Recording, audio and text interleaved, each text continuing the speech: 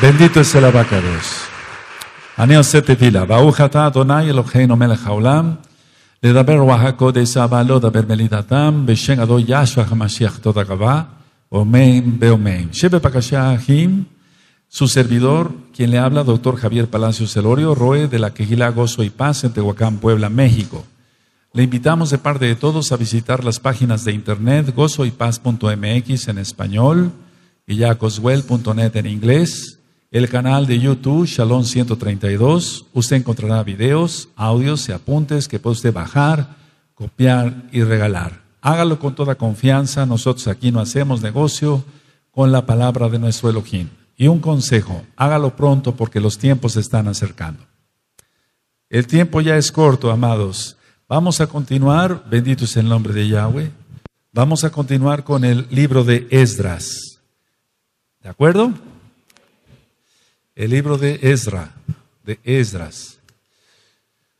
Ahora pueden ponerle, no sé qué en, número nos quedamos, perdónenme, yo ya no le anoté números acá en mis apuntes. Pónganle así, segundo regreso y reformas de Esdras. Vamos a esperar tantito. Recuerden que ayer hablamos de que festejaron Pesach, ¿se acuerdan? Sí, bueno, entonces, el segundo regreso y las reformas de Esdras. Y eso es en el capítulo 7, anótenlo, les va a servir. Capítulo 7 y verso 10. Hay muchas hermanas que no saben si escribir o echarse aire. Exactamente, aleluya. A ver, échense aire tantito. Eso, hasta aquí llega. Ahora, ahora vamos a anotar. Son como 10 capítulos sin echarse aire. Si tienen Esdras 7, verso 10, ah. Porque Esdras había preparado su corazón para inquirir la Torah de Yahweh y para cumplirla y para enseñar en Israel sus estatutos y decretos. Así que este libro es un llamado a guardar la Torah. ¿Es un llamado a guardar la qué? Ahora, Esdras aparece en sí en escena en este capítulo 7 del verso 1 al verso 10 que acabamos de leer. Pero yo quise poner nada más como las reformas de Esdras, no es que reformara la Torah, pero Esdras aparece en escena ya en, sí, en este mismo capítulo 7, el verso 1 al 10. Ahora, todo es propiciado por algo. Entonces pueden poner como punto siguiente las circunstancias, anótenlo así, las circunstancias que propiciaron el regreso. Esas circunstancias que propiciaron el regreso están en el capítulo 7, del verso 11 al verso 28. Es decir, que ese todo el resto, digamos, del capítulo 7. ¿Vamos bien? Ahora, la lista de los que regresaron, ahorita ya vamos a ir leyendo todo el libro. La lista de los que regresaron es del capítulo, en el capítulo 8, del verso 1 al verso 14.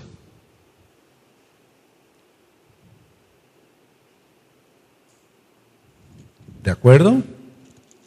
Eso es.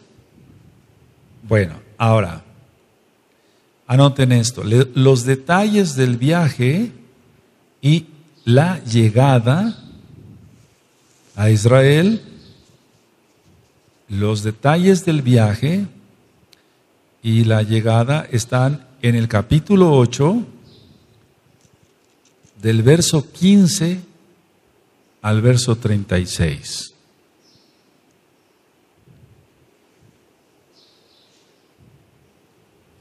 ¿De acuerdo? Ahora, es muy importante el verso 21 del capítulo 8. Eso tú lo encuentras en el audio del ayuno que se puede ayunar por un viaje. No sé si recuerdan eso. Está ministrado en el audio del ayuno de hace ya muchos años o algunos años. Entonces, en el, ve- el verso 21, nuestro amado va a valer. Amén. Y publiqué ayuno allí junto al río Ajabá, para afligirnos delante de nuestro Elohim, para solicitar de él camino derecho para nosotros y para nuestros niños y para todos nuestros bienes. Entonces es bueno ayunar antes de un viaje. Eso tómenlo en cuenta, es muy importante eso. ¿De acuerdo? Amén. Ahora, vamos a anotar este punto siguiente. Reformas en la tierra de Israel.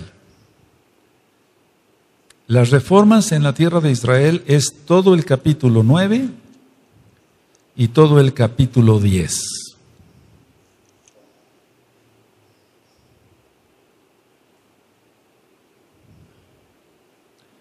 Ahora, el pecado, anótenlo, de los matrimonios mixtos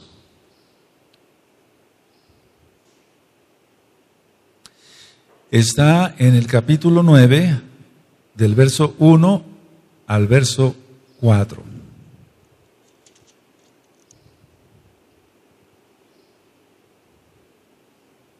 Y ahorita vamos a ir leyendo y tú vas a ir recordando. Ese es un bosquejo del libro. ¿De acuerdo?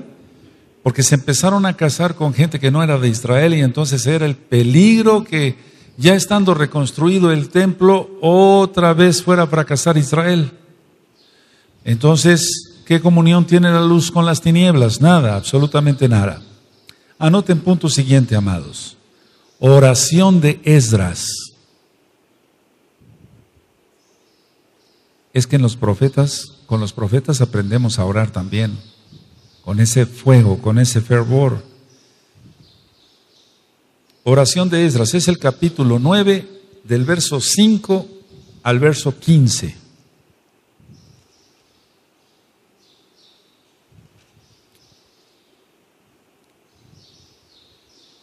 ¿Vamos bien?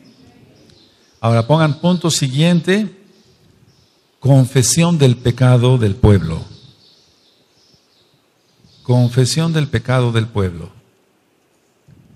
Es el capítulo 10, todo el capítulo 10. Ese es el bosquejo del libro. Ahora,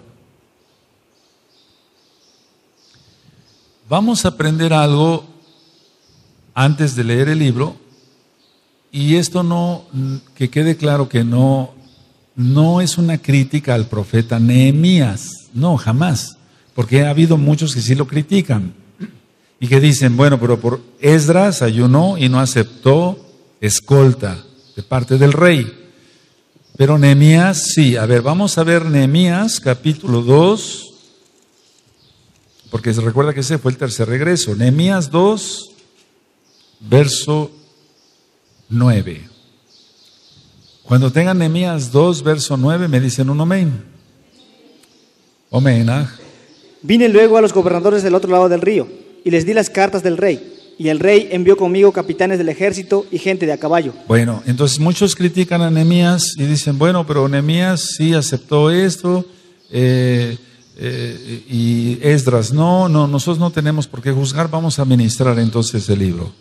Ahora, ya vimos que en el capítulo 8, verso 21 hay un ayuno y es en el libro de Esdras. Ahora, es muy importante que en el capítulo 9 de Esdras, vamos para allá, se habla de un remanente, siempre va a haber un remanente. El Eterno ya está haciendo su remanente aquí y a nivel mundial. Esdras 9, verso 8, cuando lo tengan me dicen un amén. Amén, ¿ah? Y ahora, por un breve momento, ha habitado Rajamín de parte de Yahweh nuestro Elohim, para hacer que nos, para hacer que nos quedase un remanente libre y para darnos un lugar seguro en su Mishkan, a fin de alumbrar nuestro Elohim nuestros ojos y darnos un poco de vida en nuestra servidumbre. Aleluya. Ahora el verso 13.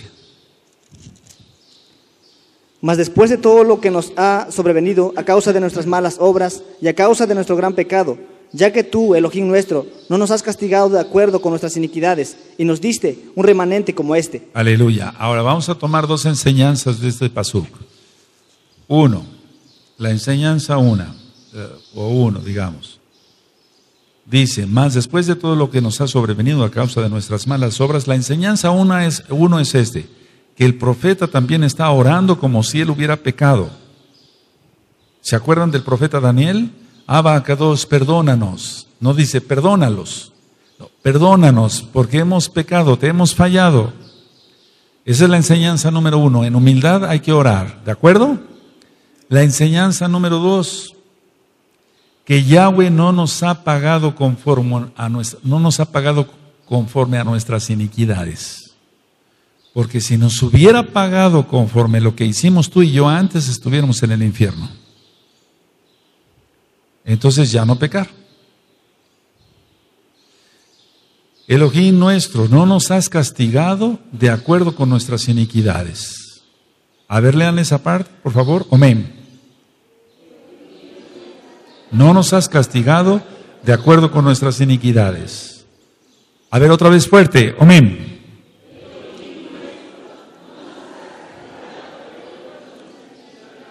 Porque tú y yo merecíamos una buena tunda, pero bien fuerte. El Eterno no nos la dio. ¿Para qué, ¿Para qué buscarla? ¿Para qué seguir? O sea, ¿para qué buscar problemas con el Eterno? Ya no pecar. Él no nos ha pagado conforme a nuestras iniquidades, Él no nos ha castigado conforme a lo que tú y yo hicimos. Aleluya. Él es bueno, Él es bueno y Él perdona, pero lo, que Él quiere es que ya no volvamos a pecar. Ahora, vamos al capítulo 4, amados Sahim, donde nos quedamos, en que empezaba la oposición. La oposición de construir, que no se te vaya a olvidar todo, que cantaban, que tocaban shofar, ¿recuerdas? Sí, aleluya. En el capítulo 4, el verso 4 en adelante, ah, por, por favor, amén. Pero el pueblo de la tierra intimidó al pueblo de Judá y lo atemorizó para que no edificara. Sobornaron además contra ellos a los consejeros para frustrar sus propósitos. Todo el tiempo de Ciro, rey de Persia, y hasta el tiempo de Darío, rey de Persia. Tremendo, ¿no? ¿Cuánto tiempo pasó? ¿Sigue? Y en el reinado de Asuero, en el principio de su reinado, escribieron acusaciones contra los habitantes de Judá y de Jerusalén. Ahí está Esther para algunos, pero recuerda que más bien es el 6 y el 7. ¿Sigue? También en días de Artajerjes escribieron Bislán, Mitríates, Tabeel y los demás compañeros suyos, a Artajerjes, rey de Persia, y la escritura y el lenguaje de la carta eran en arameo. Recuerda, arameo, sigue. Reún canciller y Sinsai secretario escribieron una carta contra Jerusalén al rey Artajerjes. Sigue. En tal fecha escribieron Reún canciller y Simsai secretario, y los demás compañeros suyos los jueces, gobernadores y oficiales, y los de Persia, de Erec, de Babilonia, de Susa, esto es, los elamitas, y los demás pueblos que el grande y glorioso Asnapar transportó e hizo habitar en las ciudades de Samaria y las demás provincias del otro lado del río. Y esta es la copia de la carta que enviaron al rey Artajerjes. Al rey Artajerjes, tus siervos del otro lado del río te saludan. Sea notorio al rey que los judíos que subieron de ti a nosotros vinieron a Jerusalén y edifican la ciudad rebelde y mala, y levantan los muros y reparan los fundamentos. Ahora sea notorio al rey que si aquella ciudad fuere reedificada y los muros fueren levantados, no pagarán tributo, impuesto y rentas, y el erario de los reyes será menoscabado, siendo que, no nos, siendo que nos mantienen del palacio. No nos es justo ver el menosprecio del rey, por lo cual hemos enviado a hacerlo saber al rey, para que se busque en el libro de las memorias de tus padres. Hallarás en el libro de las memorias y sabrás que esta ciudad es ciudad rebelde y perjudicial a los reyes y a las provincias, y que de tiempo antiguo forman en medio de ella rebeliones, por lo que esta ciudad fue destruida. Hacemos saber al rey que si esta ciudad fuera reedificada y levantados sus muros, la región de más allá del río no será tuya. Así que no se rebelaron contra el rey, no se rebelaban contra nadie, se rebelaban contra Yahweh. Por eso fue destruido el templo. ¿Me doy a entender? Sí, siga.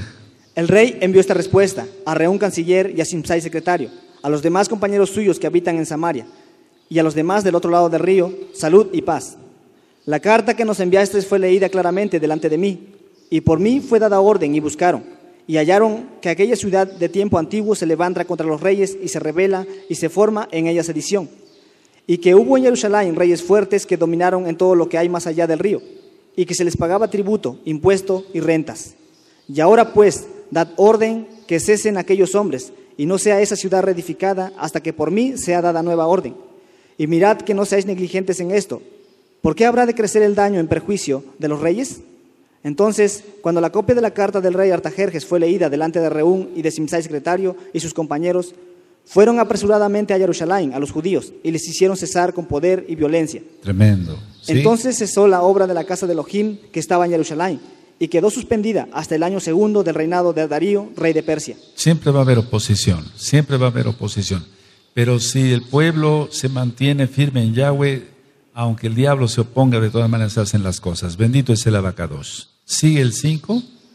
Profetizaron Ageo y Zacarías, hijo de Ido, ambos profetas, a los judíos que estaban en Judá y en Jerusalén, en el nombre del Elohim de Israel, quien estaba sobre ellos. Ya ministré sobre ello. ¿Sigue? Entonces se levantaron Zorobabel, hijo de Salatiel, y Jesúa, hijo de Josadad, y comenzaron a reedificar la casa de Elohim que estaba en Jerusalén, y con ellos los profetas de Elohim que les ayudaban. En aquel tiempo vino a ellos Tacnai, gobernador del otro lado del río, y Setarbosnai y sus compañeros, y les dijeron así, ¿quién os ha dado orden para edificar esta casa y levantar estos muros? Ellos también preguntaron, ¿cuáles son los nombres de los, nom- ¿cuáles son los, nombres de los hombres que hacen este edificio? Mas los ojos de Elohim estaban sobre los ancianos de los judíos, y no les hicieron cesar hasta que el asunto fuese llevado a Darío. Y entonces respondieron por carta sobre esto. Copia de la carta que Tarnai, gobernador del otro lado del río, y Setarbosnai y sus compañeros, los gobernadores que estaban al otro lado del río, enviaron al rey Darío. Le enviaron carta, y así estaba escrito en ella. Al rey Darío, toda paz.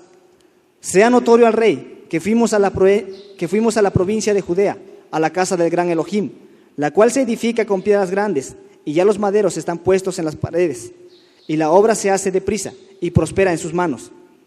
Entonces preguntamos a los ancianos diciéndoles así, ¿quién os dio orden para edificar esta casa y para levantar estos muros? Y también les preguntamos sus nombres para hacértelo saber, para escribirte los nombres de los hombres que estaban a la cabeza de ellos. Ahora hago un paréntesis. Miren, cuando se inició esta obra, los pastores cristianos de Tehuacán y la región decían, ¿quién le ha dado autoridad al doctor Palacios para levantar una obra? ¿Quién le ha dado autoridad? Eso, eso, eso fue muy notorio. Más de 500 pastores se unieron. Y aquí estamos. Bendito es Yahweh. Así que recuerda que la orden no vino del rey de Persia, la orden vino de parte de Yahweh, que se tenía que reedificar la casa. Si se, si se entiende eso, ¿verdad? Claramente. Entonces, esto es muy común siempre. Pero ¿quién te dio autoridad? En alguna ocasión quiero comentarles esto, no importa que nos llevemos un poquito más de tiempo. Un grupo de evangélicos se puso de acuerdo, fueron al consultorio y me dijeron, doctor Palacios, ¿cómo ha estado? Fingiendo, ¿verdad? Fingiendo. "Eh, Doctor Palacios, ¿cómo ha estado? Lo invitamos a cenar, etcétera. Sí, ¿cómo no? Le digo, además me desocupo de todos mis pacientes y yo llego. ¿En dónde se van a reunir? Y total que era una cafetería. Y en esa cafetería ellos hicieron confabulación con otros evangélicos, se reunieron y como, me- como que me cercaron. Y entonces ahí empezaron las pedradas. ¿Quién es usted para predicar la palabra de Dios? ¿Y quién es eso? Si usted es médico cirujano, váyase usted a su consultorio, opera a su gente, pero deje usted en paz la palabra de Dios, etcétera. No, no, no, el Eterno es el que unge. Bendito es Yahweh. Bendito es Yahweh. Él llama, Él llama y Él unge. Bendito es el abacados. Ellos no han podido hacer nada ni lo harán. La restauración va en pleno y es de Yahweh. Sigue, Aj. Y nos respondieron diciendo así, nosotros somos siervos del Elohim de los Shamaín y de la tierra, y reedificamos la casa que ya muchos años an- antes había sido edificada, la cual edificó y terminó el gran rey de Israel. Mas después que nuestros padres provocaron a ir al Elohim de los Shamaín, él los entregó en manos de Nabucodonosor, en manos de Nabucodonosor, rey de Babilonia, caldeo, el cual destruyó esta casa y llevó cautivo al pueblo a Babilonia. Subraya todo el verso 12, porque la rebelión fue contra Elohim. Y eso es lo grave. No nos rebelemos contra Elohim, que el Eterno permita que permanezcamos aquí predicando la palabra hasta que Él diga. Amén, pero no que sea por su ira, por su enojo. Siga. Pero en el año primero de Ciro, rey de Babilonia, el mismo rey Ciro dio orden para que esta casa de Elohim fuese reedificada. Porque Yahweh se lo ordenó. Aleluya. Sigue. También los utensilios de oro y de plata de la casa de Elohim que Nabucodonosor había sacado del templo que estaba en Jerusalén y los había llevado al templo de Babilonia. El rey Ciro los sacó del templo de Babilonia y fueron entregados a Sesbazar, a quien había puesto por gobernador. Porque Yahweh lo ordenó. Aleluya. Sigue. Y le dijo, toma estos utensilios, ve y llévalos al templo que está en Jerusalén, y sea reedificada la casa de Elohim en su lugar. Aleluya. Entonces este Sesbazar vino y puso los cimientos de la casa de Elohim, la cual está en Jerusalén, y desde entonces hasta ahora se edifica, y aún no está concluida. Y ahora, si al rey parece bien, búsquese en la casa de los tesoros del rey que está allí en Babilonia. Si es así que por el rey Ciro había sido dada la orden para reedificar esta casa de Elohim en Jerusalén, y se nos envíe decir la voluntad del rey sobre esto. Vamos con el 6, amén. Entonces el rey Darío dio la orden de buscar en la casa de los archivos donde guardaban los tesoros allí en Babilonia. Y fue hallado en Agmenta, en el palacio que está en la provincia de Media, un libro en la cual estaba escrito así, Memoria.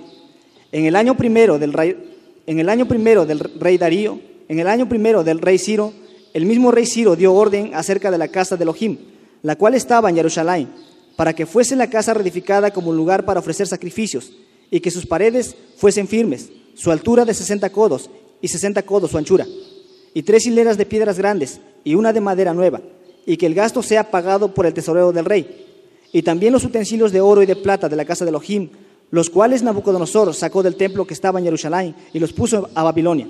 Sean devueltos y vayan a su lugar, al templo que está en Jerusalén, y sean puestos en la casa de Elohim. Ahora pues, Tadnai, gobernador del otro lado del río, Setarbosnai y vuestros compañeros los gobernadores que estáis al otro lado del río, alejaos de ahí. Dejad que se haga la obra de esa casa de Elohim, que el gobernador de los judíos y sus ancianos reedifiquen esa casa de Elohim en su lugar. Y por mí es dada orden de lo que habéis de hacer con esos ancianos de los judíos, para reedificar esa casa de Elohim, que de la hacienda del rey, que tiene del tributo del otro lado del río, sean dados puntualmente a esos varones los gastos, para que no cese la obra. Y lo que fuese necesario, y lo que fuere necesario, becerros, carneros y corderos para holocaustos al Elohim de los Shamaín, trigo, sal, vino y aceite, conforme, conforme a lo que dijeron los Juanim que están en Jerusalén, les sea dado día por día, sin obstáculo alguno, para que ofrezcan sacrificios agradables al Elohim de los Shamaín y oren por la vida del rey y por sus hijos. También por mí es dada orden que cualquiera que altere este decreto, se le arranque un madero de su casa y alzado sea colgado en él, y su casa sea hecha muladar por esto. Aleluya. Si están despiertos. Eso es lo que pasa con toda la gente que se opone a la restauración. Es, es, nosotros no maldecimos a nadie, no, no, no, no, la misma gente se maldice. Siga. Y el Elohim que hizo habitar ahí su nombre, destruya a todo rey y pueblo que pusiere su mano para cambiar o destruir esa casa de Elohim, la cual está en Jerusalén. Yo, Darío, he dado el decreto. Sea cumplido prontamente. Así que el 11 fue por orden de Elohim. El 11, el verso 11, subrayenlo, amados Sahim. Cualquiera que altere el decreto, se le arranque un madero de su casa y alzado sea colgado en él y su casa sea hecha, hecha muladar por esto. Tremendo. Todos los que se oponen a la restauración acabarán así. La restauración de la casa de Israel, de la casa de Judá, es de parte de Yahweh. Todos los que se oponen a que se pensionen los nombres correctos, Yahweh, Yahshua, Ruajacodes, que se guarde el Shabbat, la Brit Milá, que se cante y se toque con instrumentos, que se ministre santidad. Todos los que se oponen a la santidad, todos los que se oponen a la obra del Eterno acabarán así. ¿Sí, ah? Entonces Tadnai, gobernador del otro lado del río, y Setarbosnai y sus compañeros hicieron puntualmente según el rey Darío había ordenado. Y los ancianos de los judíos edificaban y prosperaban, conforme a la profecía del profeta Geo y de Zacarías, hijo de Ido. Edificaron pues y terminaron por orden del Elohim de Israel y por mandato de Ciro, de Darío y de Artajerjes, rey de Persia. Date cuenta, y terminaron por orden del Elohim de Israel. Él es el primero. Amén. Y lógico, él utilizó a Ciro, a Darío y a Artajerjes. ¿Sigue? Esta casa fue terminada el tercer día del mes de Adar, que era el sexto año del reinado del rey Darío. Eso ya lo subrayaste. ¿Sigue? Entonces los hijos de Israel, los Cuanim, los levitas y los demás que habían venido de la cautividad hicieron la dedicación de esta casa de Elohim con gozo. Y ofrecieron en la dedicación de esta casa de Elohim cien becerros, doscientos carneros y cuatrocientos corderos, y doce machos cabríos en expiación por todo Israel conforme al número de las tribus de Israel. Y pusieron a los Quanim en sus turnos y a los levitas en sus clases para el servicio de Elohim en Jerusalén, conforme a lo escrito en el libro de Moshe. También los hijos de la cautividad celebraron el Pesach a los 14 días del mes primero. Ya lo subrayamos. ¿Sigue? Porque los Quanim y los levitas se habían purificado a una. Todos estaban limpios y celebraron el Pesach por todos los hijos de la cautividad y por sus ajín los Quanim y por sí mismos. Comieron los hijos de Israel que habían vuelto del cautiverio, con todos aquellos que se habían apartado de las inmundicias de las gentes de la tierra para buscar a Yahweh Elohim de Israel. Y celebraron con regocijo la fiesta solemne de los panes sin levadura siete días. Amén. Por cuanto Yahweh los había alegrado y había vuelto el corazón del rey de Asiria hacia ellos, para fortalecer sus manos en la obra de la casa de Elohim, del Elohim de Israel. Entonces siempre para, fíjense muy bien, siempre para buscar la voluntad de Yahweh hay que orar, hay que ayunar y hay que pedirle que mueva su mano poderosa a favor nuestro. En este caso fue así. Él movió, Yahweh movió su mano poderosa a favor de los Yehudim de ese tiempo. Aleluya. A pesar de reyes paganos, etcétera, etcétera, etcétera. Sigue con el 7. Pasadas estas cosas, en el reinado de Artajerjes, rey de Persia, Esdras, hijo de Saraías, hijo de Azarías, hijo de Ilcías, hijo de Salum, hijo de Sadoc, hijo de Aitob, hijo de Amarías, hijo de Azarías, hijo de Merayot, hijo de Seraías, hijo de Uz, hijo de Buki, hijo de Abisúa, hijo de Fines, hijo de Eleazar, hijo de Aarón, primer Cohen. Este Esdras subió de Babilonia, era escriba diligente en la Torah de Moshe que Yahweh Elohim de Israel había dado, y le concedió el rey todo lo que pidió, porque la mano de Yahweh su Elohim estaba sobre Esdras. Eso es muy importante, porque la mano de Yahweh, su Elohim, estaba sobre Esdras. Subraya eso, que la mano de Yahweh esté sobre nosotros. Bendito es su nombre. Y entonces no falta salud. Si nos enfermamos, nos sana y nos pone más fuertes. Nos mantiene saludables en espíritu, en alma y en cuerpo. Si falta trabajo, es un decir, ¿eh? porque nunca debe de faltar trabajo. Aleluya. Siempre hay muchas cosas que hacer. Pero si alguien no tiene trabajo, busca a Elohim y Elohim le responde, porque Él es bueno. Eso es muy importante, amados. No pequemos. Siga. Y con él subieron a Jerusalén algunos de los hijos de Israel y de los cuanín levitas, cantores, porteros y sirvientes del templo, en el séptimo año del rey Artajerjes. Y llegó a Jerusalén en el mes quinto del año séptimo del rey, porque el día primero del mes primero, porque el día primero del primer mes fue el principio de la partida de Babilonia.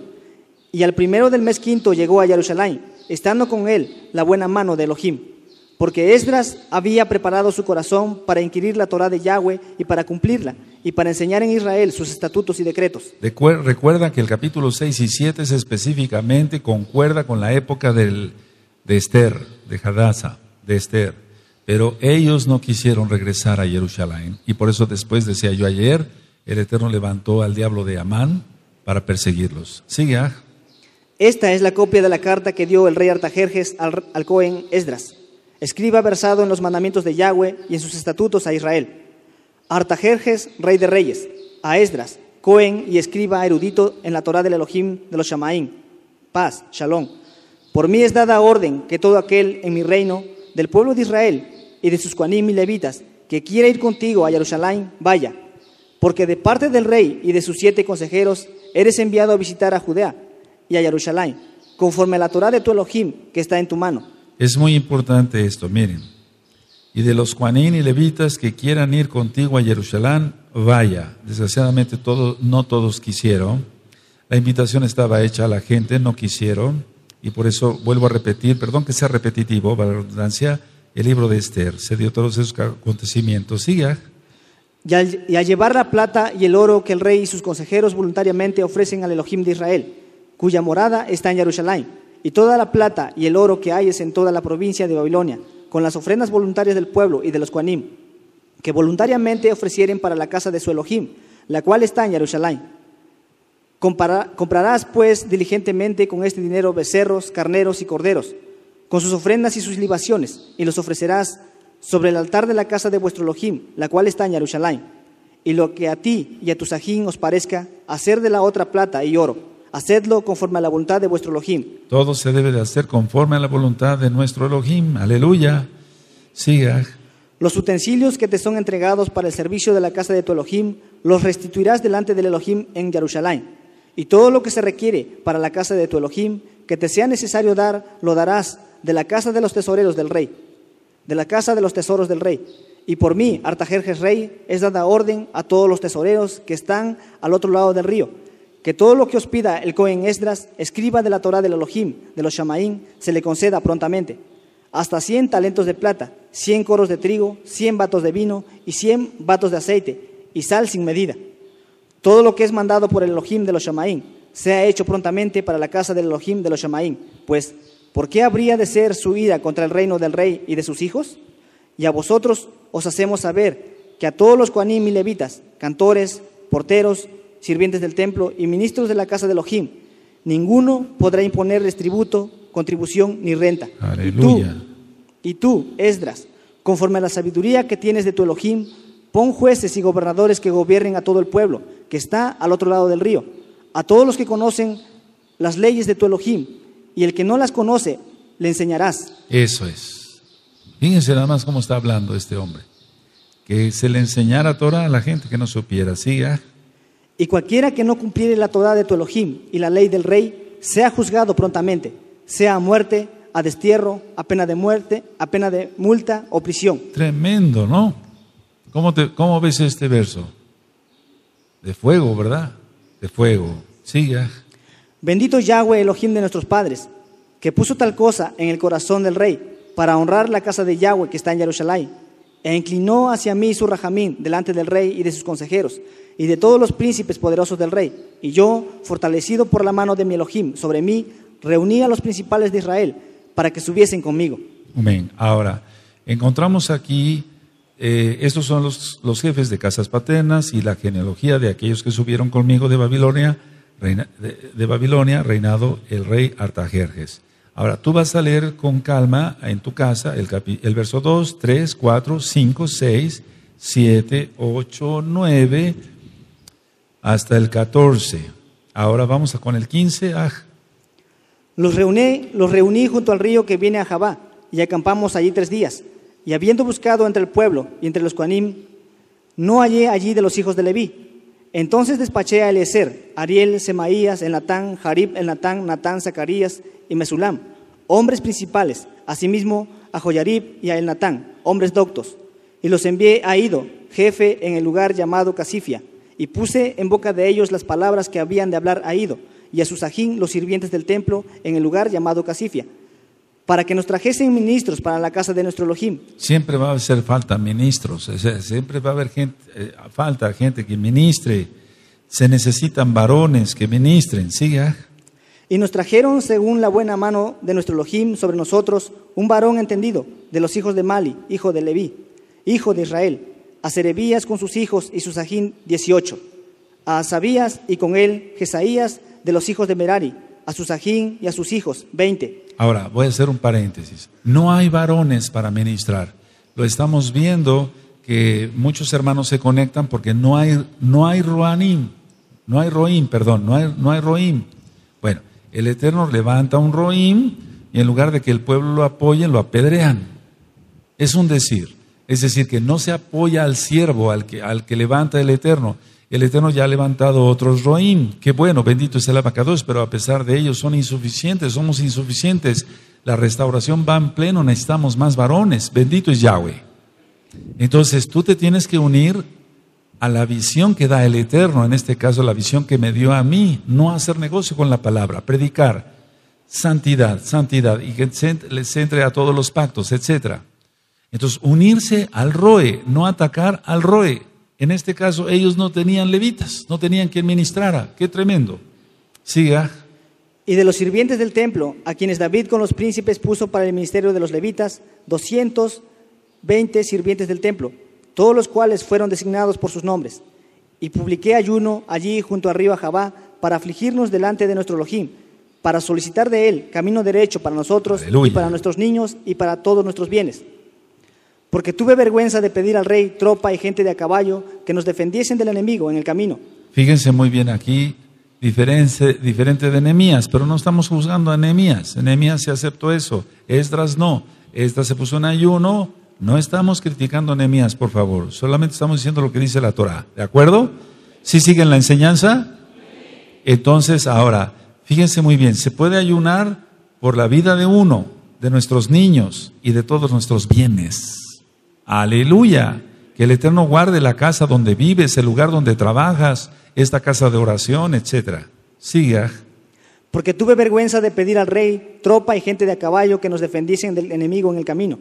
Porque habíamos hablado al rey diciendo, La mano de nuestro Elohim es para bien sobre todos los que le buscan, Aleluya. mas su poder y su furor contra todos los que le abandonan. Subraya, la mano de nuestro Elohim es para bien sobre todos los que le buscan, mas su poder y su furor contra todos los que le abandonan. Subraya eso, subraya. Por eso te digo que no pueden, se puede esperar a alguien más, algo más de alguien que haya conocido la Torah y la escupe o peca. No se puede esperar otra cosa más que su casa sea un muladar. Aquí está, es palabra del Eterno, no del Rey de Palacios.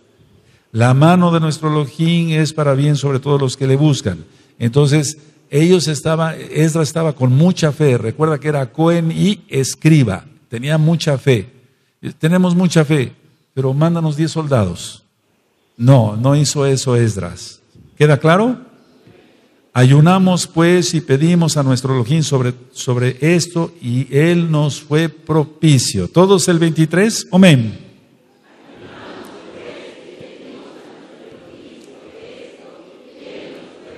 Lo que ministré hoy en la mañana, vamos a estar unánimes y pidiendo que el Eterno tenga rajem de todos nosotros con todos los terremotos que van a venir. Siga. Aparté luego a doce de los principales de los Cuanim, a Serebías y a Sabías, y con ellos diez de Susajín.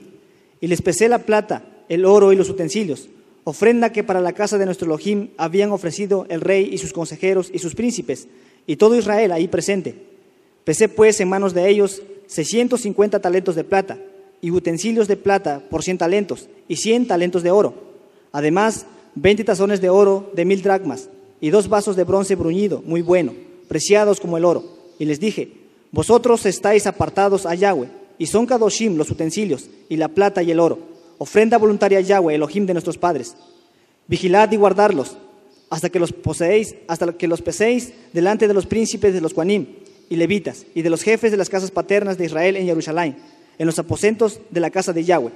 Los Cuanim y levitas recibieron el peso de la plata y del oro y de los utensilios, para traerlo a Jerusalén, a la casa de nuestro Elohim. Y partimos del río Ahabá el 12 del mes primero, para ir a Jerusalén. Y la mano de nuestro Elohim estaba sobre nosotros y nos libró de mano del enemigo Amén. y del acechador en el camino. Amén. ¿Sigue? Y llegamos a Jerusalén y reposamos allí tres días. Al cuarto día fue luego pesada la plata, el oro y los utensilios en la casa de nuestro Elohim, por mano del Cohen Meremot, hijo de Urías, y con él Eleazar, hijo de Fines, y con ellos Josafat, hijo de Jesúa, Neodías, hijo de Binui, levitas. Por cuenta y por peso se entregó todo, y se apuntó todo aquel peso en aquel tiempo. Vuelvo a repetir, todo tiene que ser transparente. Aleluya. Amén. Los hijos de la cautividad, los que habían venido del cautiverio, ofrecieron holocaustos al Elohim de Israel, doce becerros por todos, noventa y seis carneros, setenta y siete corderos y doce machos cabríos por expiación, todo en holocausto a Yahweh. Y entregaron los despachos del rey a sus sátrapas y capitanes del otro lado del río, los cuales ayudaron al pueblo y a la casa de Elohim. Aleluya. Bendito es el abacado. Siga. Acabadas estas cosas, los príncipes vinieron a mí diciendo, el pueblo, el pueblo de Israel y los cuanín y levitas no se han separado de los pueblos de las tierras, de los cananeos, eteos, fereceos, jebuseos, amonitas, moabitas, egipcios y amorreos, y hacen conforme a sus abominaciones, Tremendo, ¿no? Tremendo. Eso está tremendo. Siga. porque han tomado de las hijas de ellos para sí y para sus hijos, y el linaje Kadosh ha sido mezclado con los pueblos de las tierras, y la mano de los príncipes de los gobernadores ha sido la primera en contender, en cometer este pecado. Recuerda que anuncia, eh, eh, tú tienes ahí en el bosquejo del libro los matrimonios mixtos. ¿Te recuerdas? ¿Sí? Amén. Siga. Cuando oí esto, rasgué mi vestido y mi talit, y arranqué pelo de mi cabeza y de mi barba, y me senté angustiado en extremo. Y se me juntaron todos los que temían las palabras del Elohim de Israel, a causa de la prevaricación del cautiverio, de los del cautiverio. Mas yo estuve muy angustiado hasta la hora del sacrificio de la tarde. Los matrimonios mixtos no dejan nada más que maldición. Eso es todo. Si alguien no acepta que Yahshua es el Mashiach, si alguien acepta que Yahshua es Elohim, que hay otro Elohim y que fuimos comprados con sangre humana, entonces, ¿qué podemos esperar? Tenemos que estar unánimes en fe y que se casen y sean bendecidos los que creemos en un solo Elohim. Aleluya. Pero los matrimonios mixtos no pueden dejar nada bueno al tiempo, al tiempo, al tiempo. Tenemos mucha gente que está casando, etcétera, etcétera. O gente que se ha juntado, etcétera, y ya conocían Torah y están acabando mal. No escuchan consejos. Los abuelos nos decían, el que no escucha consejos no llega a viejo. Y es realidad. Sigue. Y a la hora del sacrificio de la tarde me levanté de mi aflicción y habiendo rasgado mi vestido y mi talit, me postré de rodillas y extendí mis manos a Yahweh, mi Elohim, y dije, Elohim mío, confuso y avergonzado estoy para levantar, oh Elohim mío, mi rostro a ti, porque nuestras iniquidades se han multiplicado sobre nuestra cabeza y nuestros delitos han crecido hasta los ¿Te Shamaim. das cuenta? Él se incluye, él se incluye. Sigue. ¿ah? Desde los días de nuestros padres hasta este día hemos vivido en gran pecado. Y por nuestras iniquidades nosotros, nuestros reyes y nuestros cua- cua- cuanín, hemos sido entregados en manos de los reyes de las tierras, a espada, a cautiverio, a robo y a vergüenza, que cubre nuestro rostro como hoy día. Y ahora, por un breve momento, habitamos, habitado, ha habido Rajamín de parte de Yahweh nuestro Elohim, para hacer que nos quedase un remanente Fíjate, libre. para hacer que nos quedase un remanente libre y para darnos un lugar seguro en su Mishkan, a fin de alumbrar nuestro Elohim, nuestros ojos y darnos un poco de vida en nuestra servidumbre. Bendito es el abacados. Siempre va a haber gente fiel a Yahweh. Siempre, siempre. Bendito es el abacados. Siga. Porque siervos somos, mas en nuestra servidumbre no nos ha desamparado nuestro Elohim, sino que inclinó sobre nosotros su rajamín delante de los reyes de Persia, para que se nos diese vida para levantar la casa de nuestro Elohim y restaurar sus ruinas, y darnos protección en Judá y en Jerusalén. Pero ahora, ¿qué diremos, oh Elohim nuestro, después de esto? Porque nosotros hemos dejado tus mandamientos, que prescribiste por medio de tus siervos los profetas, diciendo, la tierra a la cual entráis para poseerla, tierra inmunda es a causa de la inmundicia de los pueblos de aquellas regiones, por las abominaciones de aquel, por las abominaciones de que la han llenado de uno a otro extremo con su inmundicia. Pongan atención el verso 12. Amén. Ahora pues, no daréis vuestras hijas a los hijos de ellos, ni sus hijas tomaréis para vuestros hijos, ni procuraréis jamás su paz ni su prosperidad, para que seáis fuertes y comáis el bien de la tierra, y la dejéis por heredad a vuestros hijos para siempre. Pero desgraciadamente no lo hicieron y hasta la fecha no lo están haciendo. Mira, recuerda lo que dice el verso 1. Acabadas estas cosas, los príncipes vinieron a mí diciendo, el pueblo de Israel y los Juanín y levitas no se han separado de los pueblos de las tierras de los cananeos, etcétera, etcétera. Por eso no tenemos por qué ver un partido de fútbol. Dice Apocalipsis 1.6 que Yahshua nos hizo Juanín. ¿Está así? Entonces nosotros pensamos otra cosa ya, sí, ah. Mas, des- mas después de todo lo que nos ha sobrevenido a causa de nuestras malas obras y a causa de nuestro gran pecado, ya que tú, Elohim nuestro, no nos has castigado de acuerdo con nuestras iniquidades y nos diste un remanente como este, ya se ministró. Siga. hemos de volver a infringir tus mandamientos y a emparentar con pueblos que cometen estas abominaciones? ¿No te indignarías contra nosotros hasta consumirnos sin que quedara remanente ni quien escape? Tremendo, ¿no? Oh Yahweh Elohim de Israel, tú eres justo, puesto que hemos quedado un remanente que ha escapado, como en este día. Henos aquí delante de ti en nuestros delitos, porque no es posible estar en tu presencia a causa de esto. Tremendo. Y no solamente el partido del miércoles, sino viene el Mundial de Fútbol.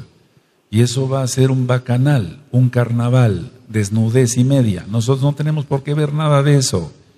Hace cuatro años, en el Mundial, yo prohibí lo mismo. Una familia de esta congregación, o que estaba en esta congregación, vio a escondidas muchos partidos de fútbol. Ahorita están totalmente locos y reprobados. Y uno de los hermanos pasó por su casa sin que se dieran cuenta y vio cómo estaban pegando de gritos, gol y toda esa barbaridad, ¿no? Entonces él me contó, vino y me contó, Roe, esta familia estuvo viendo el fútbol. Digo, bueno, al tiempo, al tiempo, al tiempo. Y de todas maneras se reprobaron. Eh, eh, la- una de las hijas fornicó, etcétera, etcétera. Entonces, no es correcto. Vamos a seguirla, vamos a seguir lo que el Eterno nos dicta. Y lo que nos dicta es santidad, kedusha. Aleluya, aleluya. Siga el 10. Mientras oraba Esdras y hacía confesión, llorando y postrándose delante de la casa de Elohim, se juntó a él una muy grande multitud de Israel, hombres, mujeres y niños, y lloraba el pueblo amargamente. Recuerda que pusiste en el bosquejo la confesión del pecado del, de- del pueblo de Israel en el capítulo 10. Siga.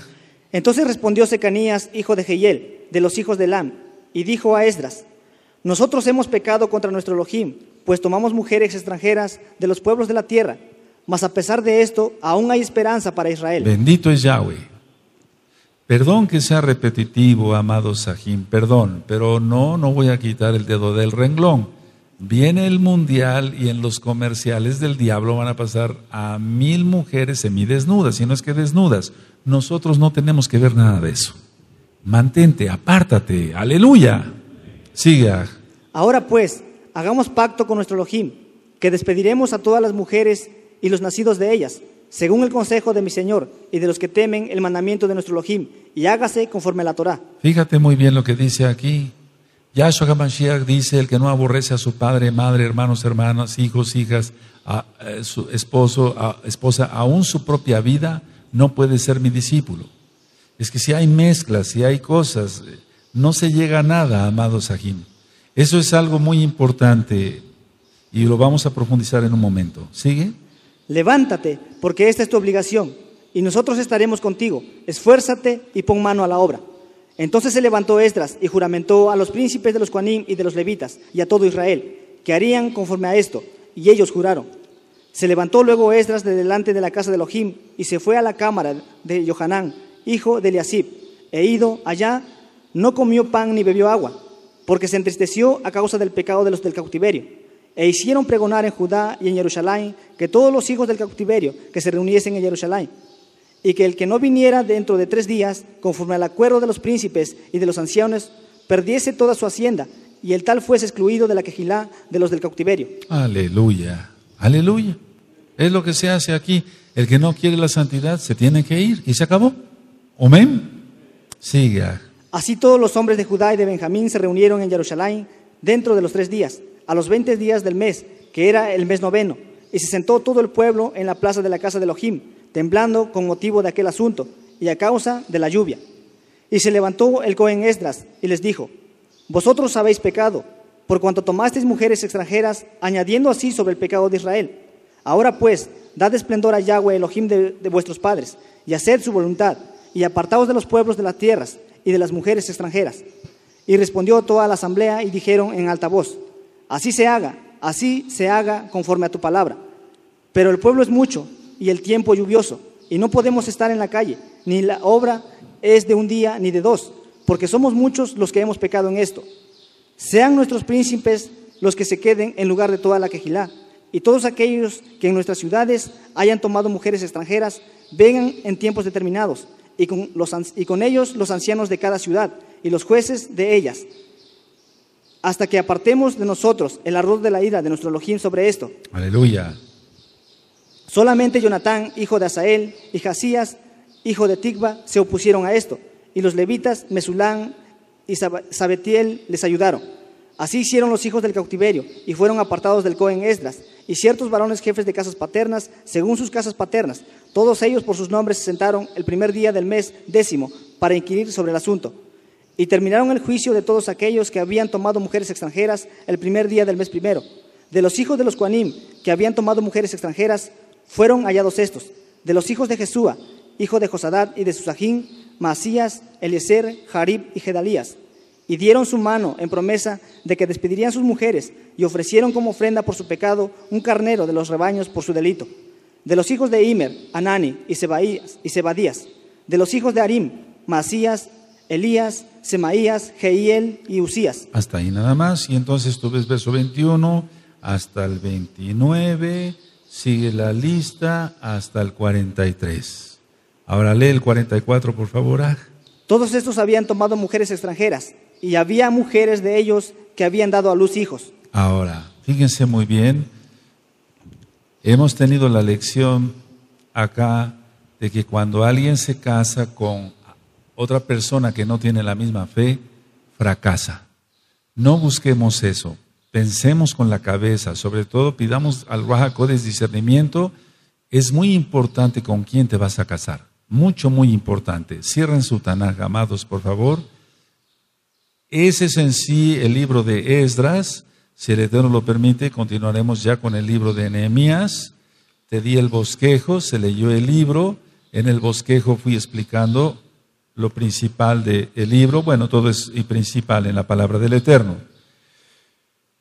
Ahora, me llama la atención que los levitas, los cuanín, pero también los cantores, ya cierren su Tanaj, pero en el verso 24 dice de los cantores, es decir, que en el caso de la orquesta se tiene que mantener muy bien en Kedushá, con los dones de Ruach discernir lo bueno de lo malo, no mezclarse porque eso es para maldición. Espero que los hermanos, lógico que son solteros y las hermanitas que son solteras, encuentren su pareja ideal de parte de Yahweh. Pero tú no te encapriches y no busques a alguien que no guarda bien Torah, porque te va a llevar al fracaso. ¿De acuerdo? Amén. Pensemos eso. Lo que trata Hasatán, Yahshua Michel le reprenda, es de sacarte del juego, por así decirlo. Sacarte, bueno, no es un juego, sacarte de la salvación. Entonces no permitan eso. La conclusión del libro de Esdras es que fue un varón, un Cohen, un escriba valiente, y él dictó lo que se tenía que hacer. Volviendo a lo que decía yo, que no hay roim, y el Eterno levanta un roe. Entonces, tú que tienes un roe acá y tú que tienes un roe allá, ora por él, bendícelo, eh, intercede por el roe. Nos unimos a la, a la visión del roe y entonces va a haber más bendición. Pero siempre va a haber gente rebelde, pueblo rebelde que se levanta en contra del roe. Bueno, es que esa gente está del parte del lado de Hasatán, está de parte de Hasatán. No hagas caso a, los, a las murmuraciones, a cosas malas. Únete mejor. Yo que, a qué te invito? A orar, a ayunar, mantenerte en Kedusha. Ya ministré cómo vamos a prepararnos para la fiesta de Shavuot. ¿De acuerdo? Bueno, entonces haz caso a eso. Miren, hace un momentito, aleluya, todo, acaba.